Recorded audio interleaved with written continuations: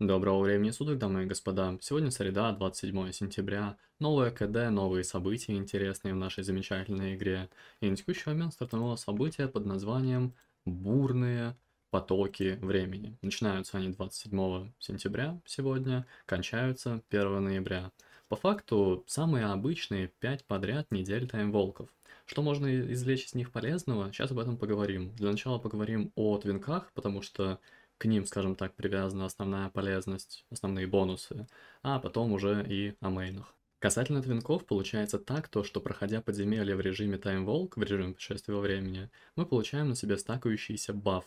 И в тот момент, когда мы проходим полностью четвертое подземелье, мы получаем супер баф, который дает нам целых 30% прироста опыта. И длится этот баф 3 часа. С целью того, чтобы его продлить, мы просто-напросто проходим еще какое-нибудь подземелье в режиме путешествия во времени. Это довольно-таки удобно, можно миксануть с с нами, которые проходят на текущий момент в Тальдразусе, можно War Mode включить и в целом лутать кучу-кучу experience. Касательно мейнов получается полная дрянь. Думали, что будут potion ы, которые мы сможем отправлять на твинков с целью получения этого бафа на experience или с целью его продления, но в итоге никаких potion ов на текущий момент пока что нет. Может быть там попозже их введут, после какого-нибудь hotfix а, после техобслуживания.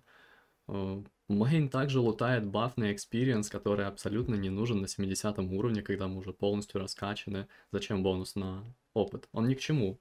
Мы просто-напросто можем в рамках этого события сделать квест на получение героек шмотки, чуток приодеться, да, если там недавно начали в игру играть.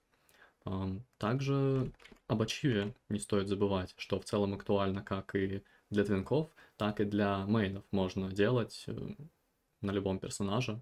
В одну неделю на одном там, во вторую на втором, например. Укротитель бурных потоков времени. Получите мега-баф в течение пяти недель в ходе события «Бурные потоки времени». Э, к примеру, на текущий момент я получил этот баф на маге. Готовлю его под э, башню магов. Вот. То есть в конце получу маунта. Приятно, ну да, приятно, прикольно, но то, что на это нужно потратить целых пять недель, а не там пятью персами сходить, это крайне грустно. То есть придется просто-напросто ждать, ждать и ждать.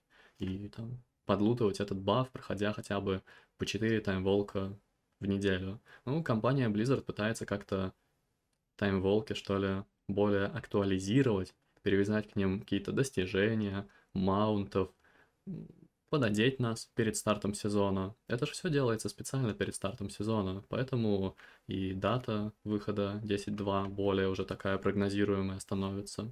Как-то так, в общем, событие, ну, такое. То есть оно немножко добавляет нам контента в виде маунта, в виде супер бафа для твинков, для их раскачки.